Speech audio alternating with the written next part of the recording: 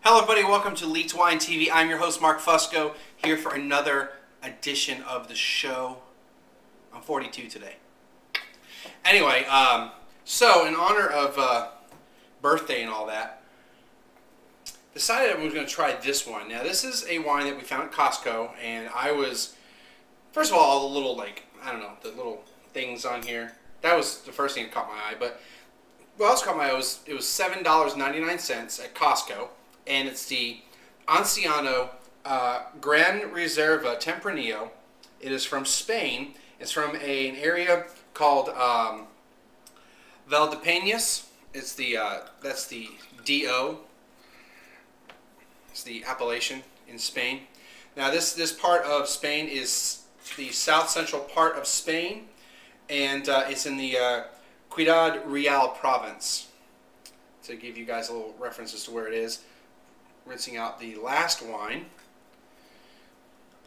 So we're going to try it out. And um, the thing about this is in 1998, and what they do, and I'm not really sure if this is really going to be that big of a deal, but they, they let it age for 10 years. They cellar it for 10 years.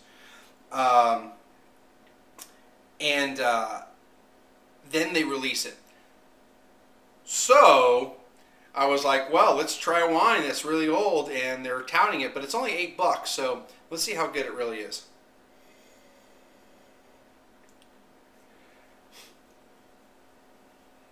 Oh, by the way, Jay Miller gave it a 90 from Wine Advocate. Found that out.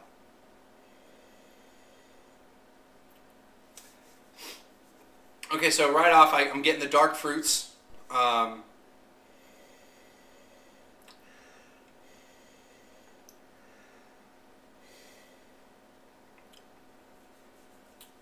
Getting a little burn on the nose, but it's only, you know, it's alcohol, so, you know, I'm going to get that. It's only 13%.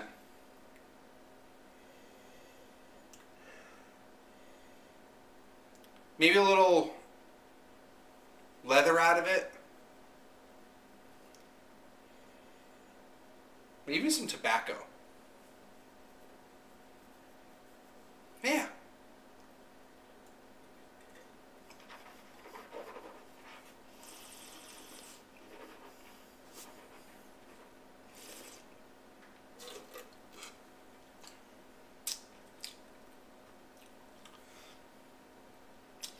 It's pretty good. I like it. I do like. I like this one a lot.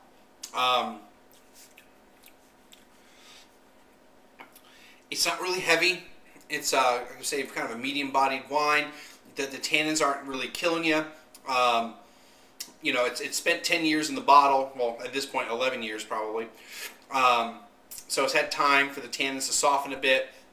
I mean, this is not a first growth Bordeaux that needs 20 years to really soften, but you know, the, the tannins aren't really present. Um, it's medium bodied.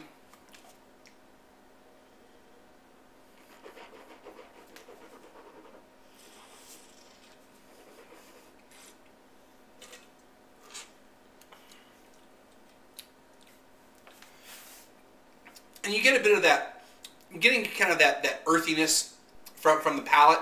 Um, it's real easy drinking. I do like this. I don't know if I'd go 90 on it. Um, it's pretty good though. Bet you Costco doesn't have anymore. We bought this about, feels like it bought like a month ago. And uh, I know that people were raving about it already. So I'd probably go 89 on it. I think it's really good. Uh, it doesn't, it doesn't, uh, it doesn't, for me, make it to that 90 point level, um, that, that extra bit of wow factor. But um, it's an $8 bottle of wine. It's, it's uh, easy drinking. It's good tannins, uh, not good tannins, uh, good, good flavor, good structure. It's pretty good. I'll go with that. Um, a couple things about the wine uh, is the to find out more about it, you can go to the Well Oiled Wine Company. They're the importer because there really isn't a, uh, a a website for the bodega that puts it out. It's the Bodega Navalon. And um, yeah, I, I totally recommend it, getting it. Uh, as always, click the links. Um, did a little workout today, still sweating from it. Um, click the links and uh, friend me up. you know, we've got expanded distribution of the video. Um, and if you haven't uh, looked at Friday's video, last Friday, uh, where I had Passaggio wine, had Cindy uh, Costco, not Costco, but Costco, um, from Passaggio Wines. Check that out. Hope to have some more of those in the future. And if you're a winemaker, winery, and you would like to do one of these Skype interviews, please contact me. Um, believe the audio problems have been solved. I'm about to. I'm waiting for something to come in to get shipped to check that out to test it. So I believe I've got that worked out. And uh, let me know because I'd love to do more of these virtual wine tastings. Uh, they're very popular, and uh, or the last one was very popular. And uh, that's really it. We'll see everybody again tomorrow.